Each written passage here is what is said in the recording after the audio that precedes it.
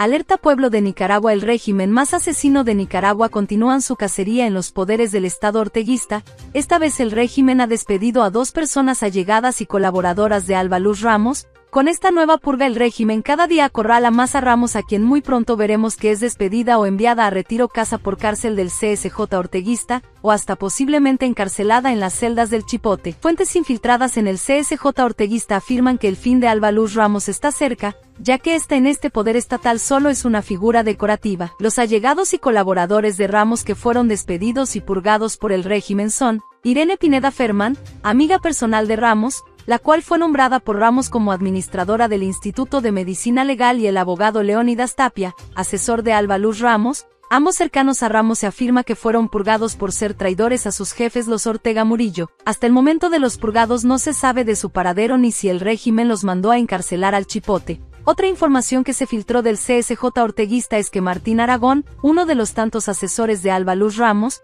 Salió huyendo del país junto con su familia del cual no se sabe de su paradero y si su fuga tuvo el apoyo de la presidenta del CSJ orteguista Alba Luz Ramos. Con estas recientes purgas del régimen hacia sus propios trabajadores del Estado sigue quedando demostrado que el fin del régimen se acerca muy pronto. Cabe dejar claro y recordar que Ramos sigue viendo la caída de todos sus colaboradores los cuales han sido purgados, encarcelados y desterrados de Nicaragua, entre los caídos de Ramos están Ruth Tapia, Katia Jaenske, Roberto Larios, Moisés Astorga y María José Camacho. Régimen de los Ortega Murillo continúan con sus mentiras hacia el pueblo de Nicaragua. Los sátrapas de los Ortega Murillo por medio de sus títeres han anunciado nuevos proyectos fantasmas para querer engañar al pueblo de Nicaragua. Y es que el propagandista Adolfo Pastrán en un medio de comunicación orteguista este afirmó que el régimen en unión con los chinos construirán un nuevo ferrocarril y un aeropuerto, mentiras que ni ellos mismos se la creen, ya que el pueblo de Nicaragua ya conoce lo mitómanos que son Daniel Ortega y Rosario Murillo. Escuchen y juzguen ustedes las nuevas mentiras que el régimen de los Ortega Murillo ahora nos quieren vender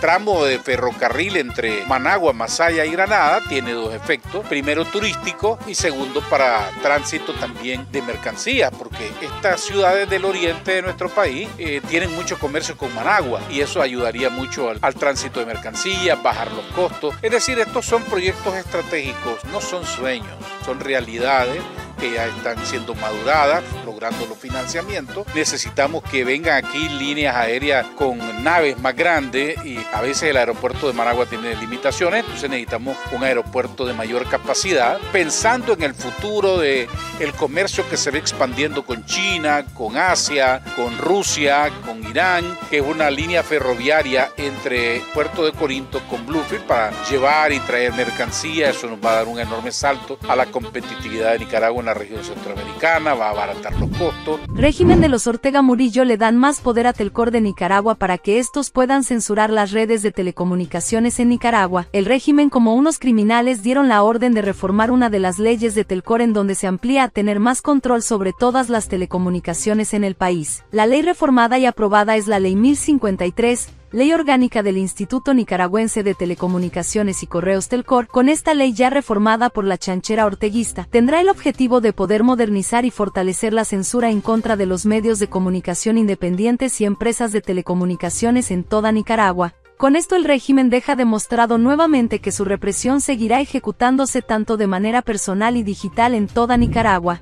Rosario Murillo y sus hijos Camila Ortega Murillo y Mauricio Ortega Murillo hacen el ridículo en el acto de recibimiento del terrorista y presidente de Irán Ebrahim Raisi, recibimiento que fue celebrado el martes 13 de junio del 2023. Murillo junto con sus hijos y demás funcionarios del gobierno, estos fueron excluidos para reunirse en privado en las instalaciones del Olof Palme, donde solo el terrorista y presidente iraní Ebrahim Raisi y su gabinete y el criminal Daniel Ortega pudieron entrar a conversar en privado, excluyendo a Murillo siendo vista ella y los demás como unos cerotes a la izquierda. El ridículo de Murillo, de no poder entrar con Ortega y Raisi en privado, es porque en estos países islámicos las tradiciones es que las mujeres no tienen derecho a nada y son excluidas de todo, algo que quedó evidenciado en donde Murillo para los iraníes estaba siendo un estorbo.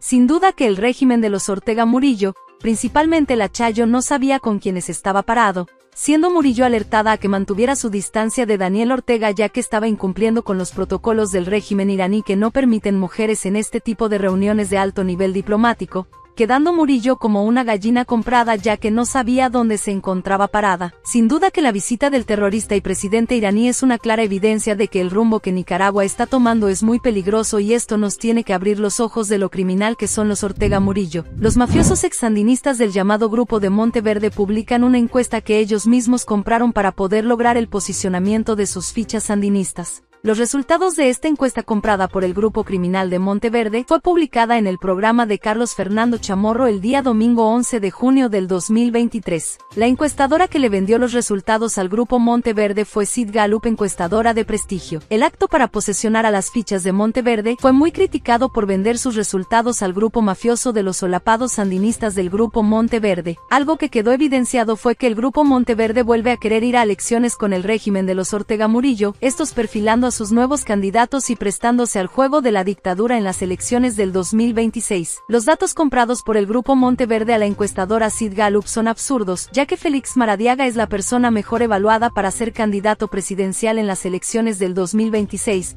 Luego le sigue Cristiana Chamorro y en tercer puesto el criminal Fidel Moreno, un sandinista arrastrado, y así pueden seguir viendo más personalidades absurdas que aparecen en la encuesta. Algo que podemos ver es que en la encuesta no aparecen los líderes universitarios Lester Alemán y Max Jerez y el obispo Silvio Báez ya que ellos no aceptaron ser parte de este grupo mafioso y criminal de Monteverde, sin duda una encuesta 100% manipulada y hecha a la medida de este grupo de exsandinistas y asesinos de Nicaragua en los años 80. Régimen de los Ortega Murillo sigue haciendo purgas en las entrañas del Ministerio de Gobernación Migov, esta vez el régimen ascendió a 13 mujeres sandinistas las cuales fueron ascendidas en los diferentes cargos y direcciones del Migo Borteguista. Con estos ascensos el día jueves 15 de junio del 2023, el régimen vuelve a dejar demostrado que sigue purgando a sus antiguos trabajadores y poniendo en puestos claves a más mujeres, para así preparar el círculo de poder a Rosario Murillo una vez que Ortega muera. Murillo con estas recientes 13 mujeres ascendidas dejó claro que muchas mujeres más serán ascendidas en otras entidades gubernamentales en todo lo que va del año 2023.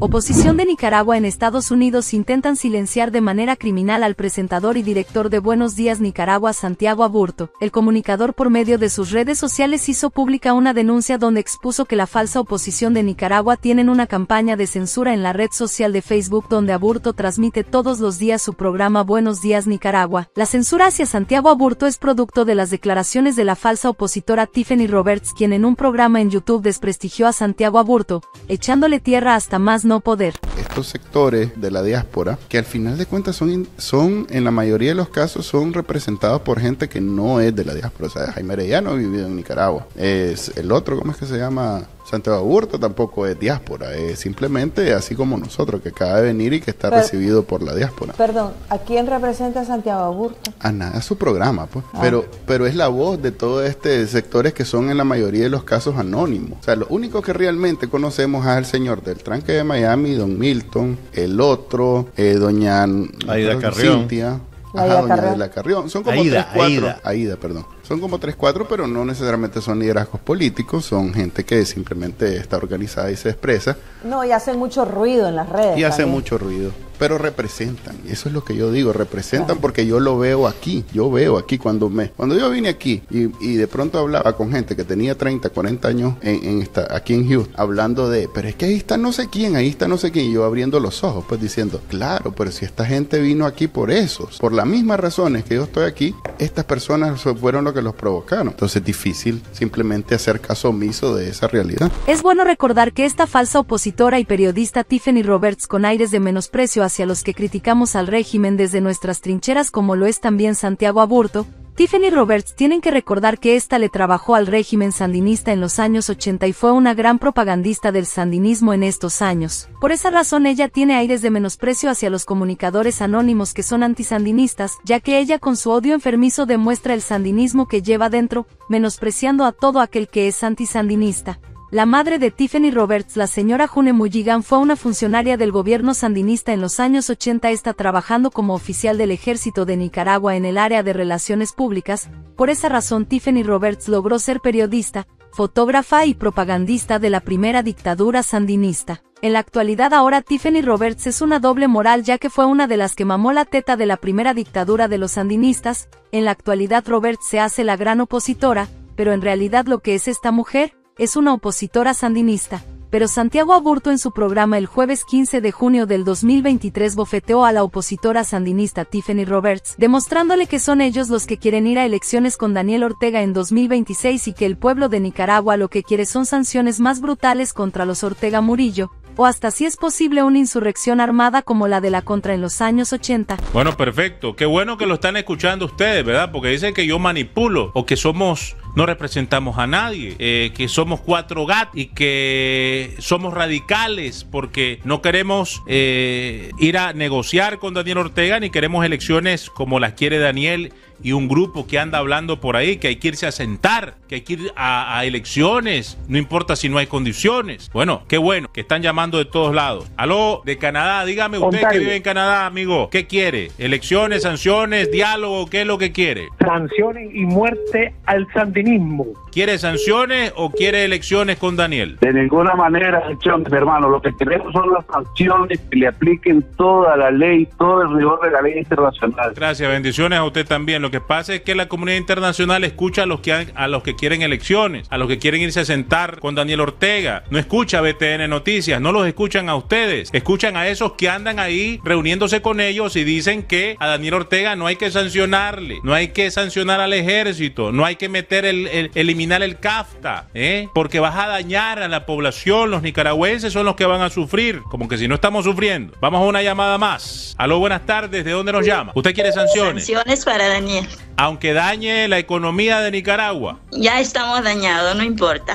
Sanciones para el sátrapa de Daniel Ortega. Pedimos sanción para Daniel Ortega, puesto que el Monseñor lo tiene encarcelado y muchos sacerdotes, lo cual nosotros, el pueblo católico, no está de acuerdo. Nosotros pedimos una sanción estricta para Daniel Ortega y Rosario Murillo. Gracias a ustedes que están llamando y que se están, eh, pues, haciendo escuchar en BTN Noticias, que es importante que algunos aprendices de políticos mentirosos, chapuceros, escuchen el clamor del pueblo, porque la voz del pueblo se escucha a través de BTN Noticias. Sanciones para los guarangos y guarangas. Tenemos dos leyes en los Estados Unidos, la NICA y la Renacer, y nadie lucha para que la apliquen. Son opositores nada más para el beneficio de ellos, no para el pueblo de los nicaragüenses. Gracias por llamarnos desde Nicaragua. ¿Están escuchando, guarangos? Y estoy de acuerdo que hay que seguir con las sanciones. ¿Ah? Sanciones, sanciones, no queremos queremos nada de diálogo, sanciones. Sanciones, hermano, sanciones de una vez. Hay que sancionar a toda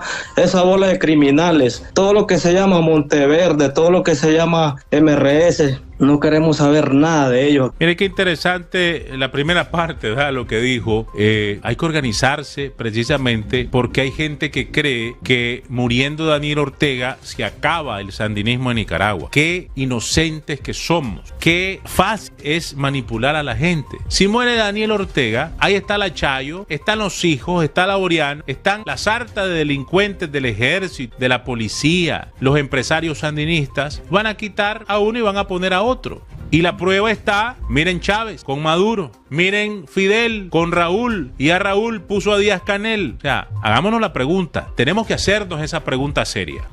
Hay que estar organizados y hay que armar un plan B, porque no hay que ser tan ingenuos. Gracias. Sanciones, sanciones son lo único que le duele a los sandinistas. Siga marcando, aquí está el número. Mira, ya llevamos hora y media, se me escapó el tiempo. La verdad, este, nos hemos tomado bastante tiempo para esta encuesta, mini encuesta del pueblo, de ustedes. Sanciones y en parte lo que está diciendo el hombre, de que hay, tiene que ser una invasión así, limpiarlo podrido y poner este nueva. Muy amable. Gracias. Sanciones, sanciones, sanciones. Gracias, gracias por llamarnos. Sanciones y sanciones. Escuchen, somos la mayoría la que queremos salir del sandinismo. Cero contemplaciones. ¿Están escuchando al pueblo? Ustedes que dicen representar al pueblo. Ustedes que salen en primer lugar en las encuestas y en octavo lugar sale Monseñor Rolando Álvarez. ¿Están escuchando al pueblo, verdad? Hijos del régimen de los Ortega Murillo siguen haciendo giras a países como Rusia en donde estos por órdenes de sus padres los Ortega Murillo llegaron a mentir descaradamente en el supuesto vigésimo sexto Foro Económico Internacional de San Petersburgo en Rusia, Dicha actividad se celebró del 13 al 15 de junio del 2023. En este foro los hijos de los dictadores y funcionarios del régimen solo llegaron a escupir de sus bocas puras mentiras.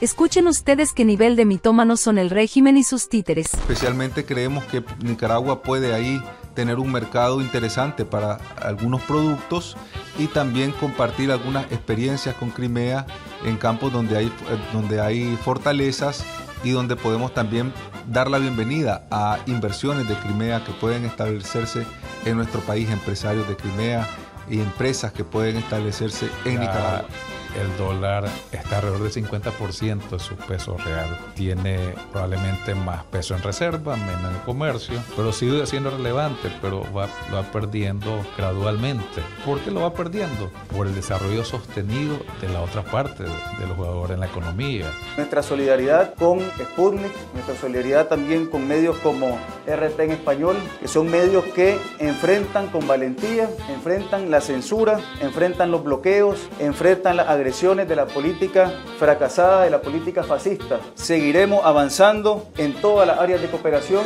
y, eh, también, en el, y, también en lo que es la cooperación en el trabajo comunicacional, en el trabajo mediático. Oposición sandinista de Nicaragua siguen sacando sus verdaderas garras. Estos enviaron una carta al grupo de izquierda regional del Foro de Sao Paulo a celebrarse en Brasilia del 29 de junio al 2 de julio del 2023, donde la oposición sandinista o llamados disidentes sandinistas aseguraron que Daniel Ortega es de derecha. La carta para muchos críticos es aberrante y demuestra la verdadera cara de la oposición política de Nicaragua hacia el régimen de los Ortega Murillo. Vean cómo la oposición sandinista de Nicaragua afirma que Ortega siempre ha sido de derecha.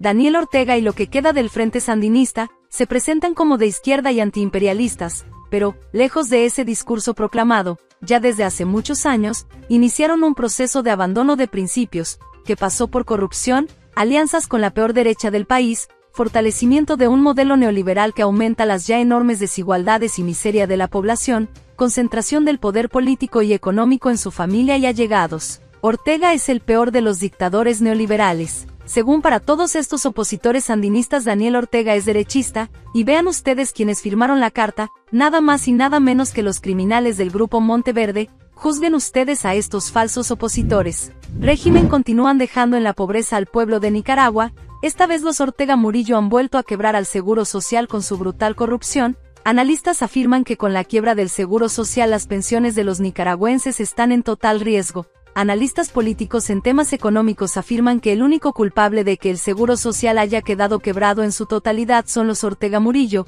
Analistas afirman que para salvar al Seguro Social es necesario cambiar la matriz económica del país, afirmando que Ortega no será capaz de poder lograr estos cambios. Advertimos si están viendo este video en Facebook, denuncian a estos ladrones de contenido Farial Fátima, quienes se encargan de descargar los videos de nuestro canal para compartirlos en su página de Facebook y así poder lucrarse ganando dinero resubiendo nuestros videos. Si desea apoyarnos no vean los videos de estos rateros de Indonesia y ayúdenos a denunciarlos, e yendo mejor a YouTube en nuestro canal donde puede encontrarnos en el buscador como arroba Última Hora Nicaragua, ahí puede suscribirse y activar todas las notificaciones para ver todas las noticias diarias donde los mantenemos informados de todas las noticias que suceden en nuestra bella Nicaragua.